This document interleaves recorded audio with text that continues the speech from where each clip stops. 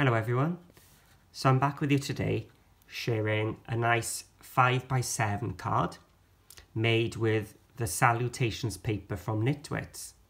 Now all I used on this front was just one border strip down the side and I'll show you how I made the card front by printing that out onto the paper and I've just decoupaged the butterfly on top. So it seems quite nice and easy but what it is is a surprise inside because it's actually a pop-up and what we've got is a butterfly which opens up and moves forward as you open and close your card. So it looks complicated, but it really isn't. And if you keep watching, I'll show you exactly how this flying butterfly was made. So to start off with, we're going to make the base card.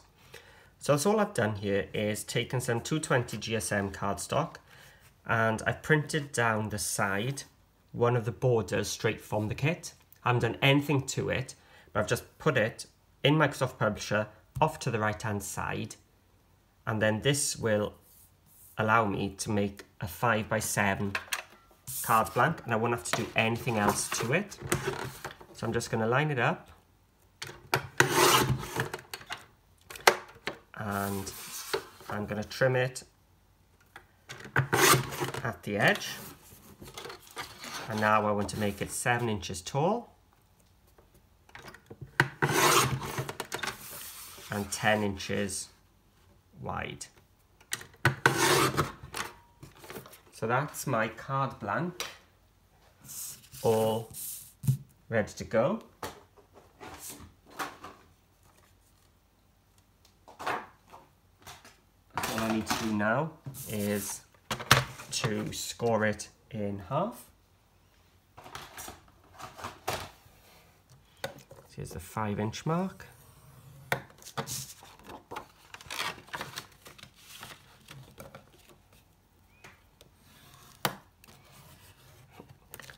And you could quite simply have a card as easy as that. But I've kept the front plain because I want the inside to be the star of the show. So with this bit that was left over from making the card base, I'm going to cut this at six inches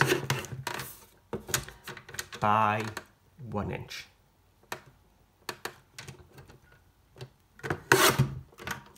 This is what's going to make my pop-up mechanism. So let's bring back our scoreboard. And I'm going to score this at one and a half, two and a half, three, three and a half, and four and a half. So that's one and a half, two and a half, three, three and a half, and four and a half. And that's the mechanism. So what I'm going to do is I'm going to make a valley in the middle. So now it's a V shape towards me. And each of the other ones now I'm going to bring back on itself down to the bottom. So what I'm making is a heart shape. Okay, so we had one valley and then a mountain and a mountain. So I'm just to take my scoring tool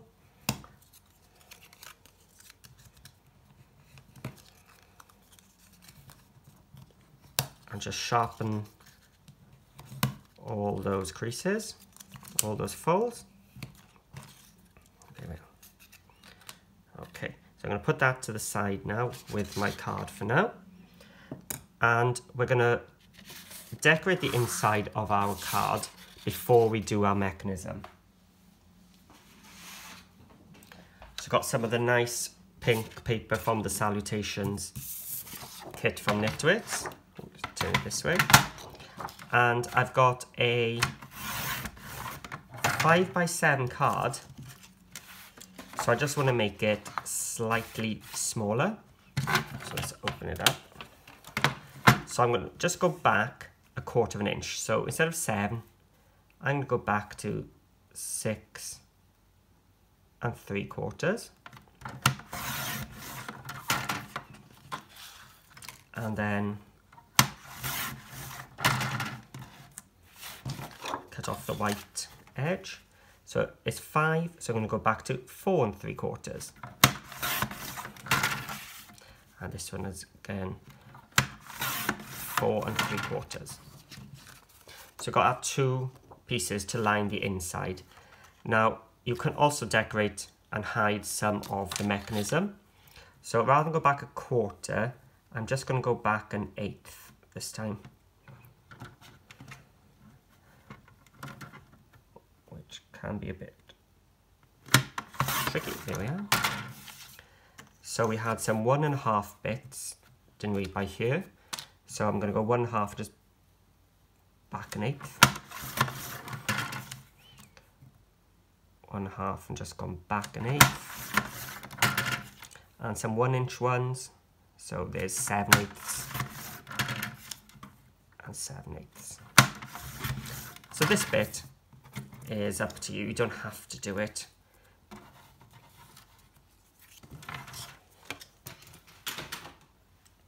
So let's just take some of my distressing and let's just take the white core away.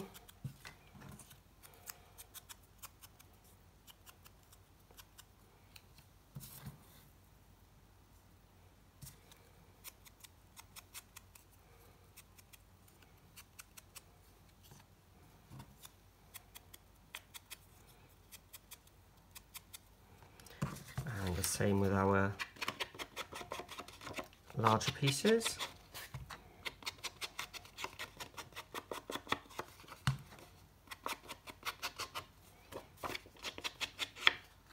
This will hide any of the white core, but also just adds a bit of a shadow to your card, so you're getting some extra depth.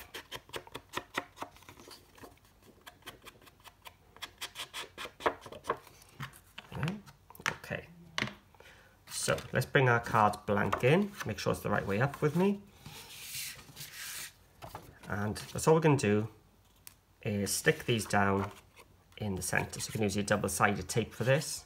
I'm just doing the glue now for speed. We're just going to glue it down. And the other side.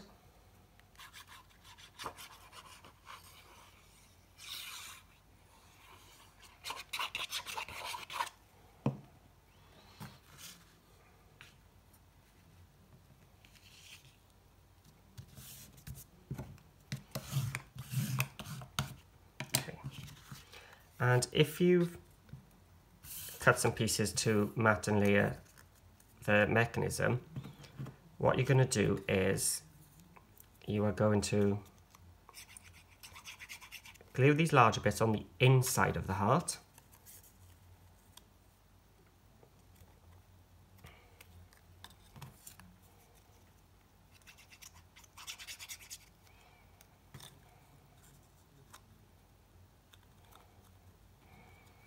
Because that's the bit you'll see there.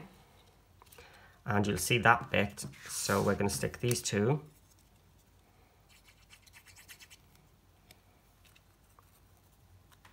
Here. I'm not going to bother with the middle because our pop-up element will hide that.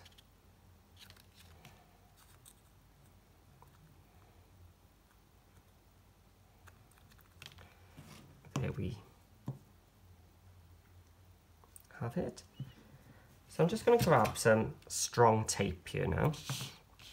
And I'm going to grab my butterfly. So this again has been printed from the Salutations kit. And I've just resized it so that it's just under five inches wide. You don't want to be any wider than five, otherwise it's going to stick out of your card when it's folded up. Now these antennae are really fiddly, so what I do is leave a bit of extra white and I just take my distress marker and just colour in the side. And while I'm at it, I'm going to go around the outside as well. That'll just help make it pop out from backing paper.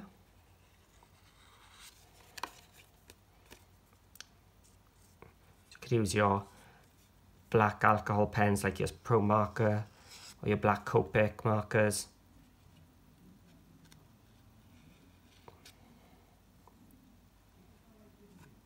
There we are.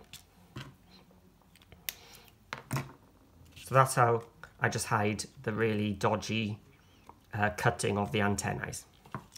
I'm going to bring back my scoreboard and I'm going to take my butterfly and I'm going to line up the centre of the butterfly with my last channel. So the bottom is poking in that channel and I'm just going to score him in half.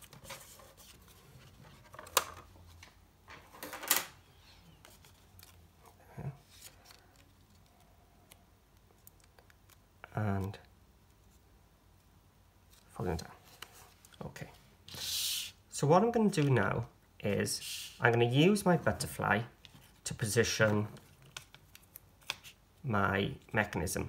So I'm going to put some tape on the back of my mechanism, so on the long bits of the outside of the heart.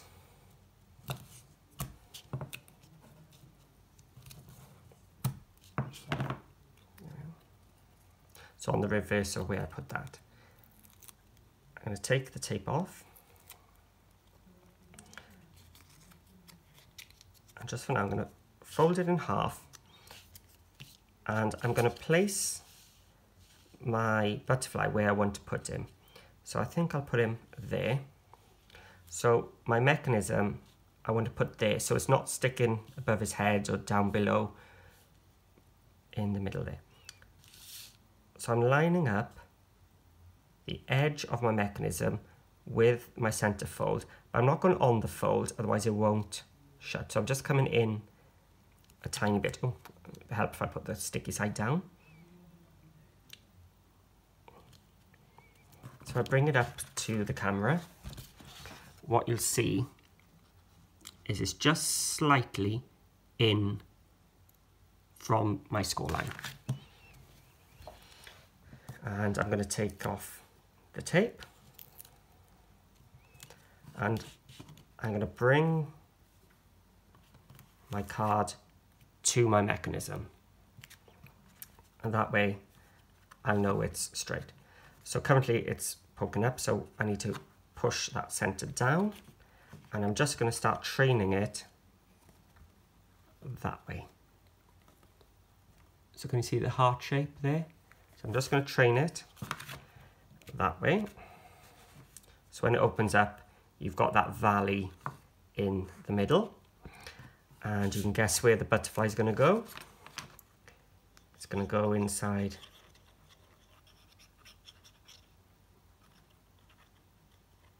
that valley. So I'm just putting my glue in.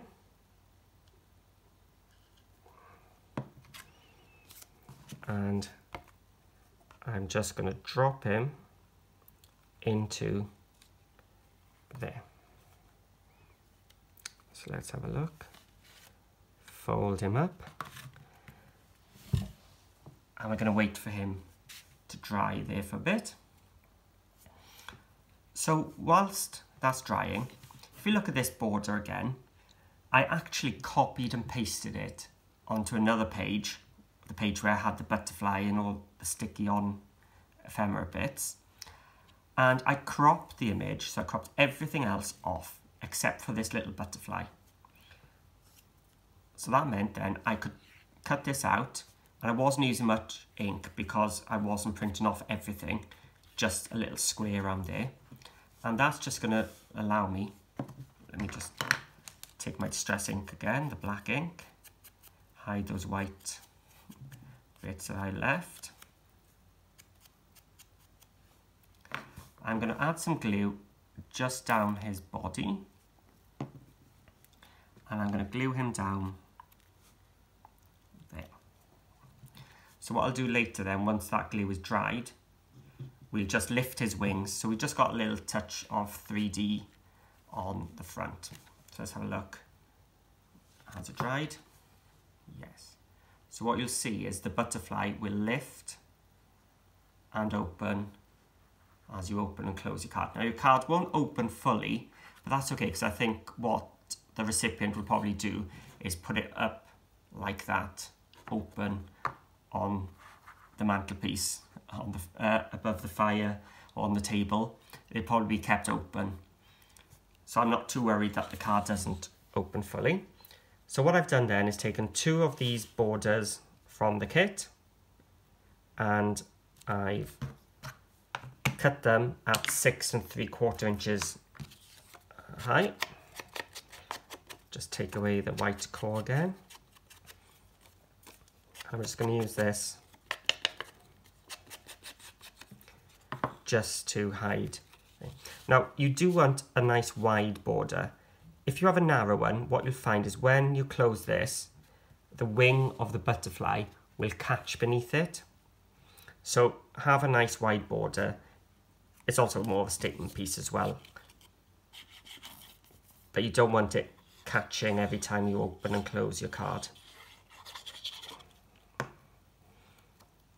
So let's bring it there.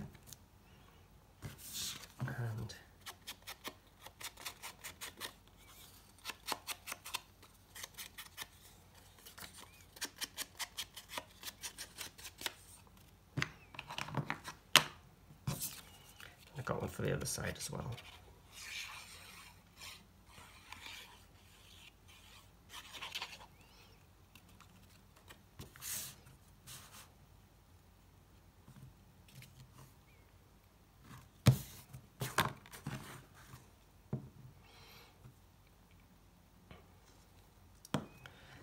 And there we have it. Our centre pop-up with our flying butterfly which then just closes flat inside our card. We've got a little bit of 3D on the front. And this is why I said don't make it more than five inches wide because as the mechanism comes forward, it's going to push that butterfly to the edge of the card. So you can see it's coming up quite close to the card as it is. So that was I think five inches wide at the widest part. Yeah, so it's five inches wide. So of course it doesn't have to be a butterfly, it could be a heart, but you want something quite nice symmetrical. So there we have it.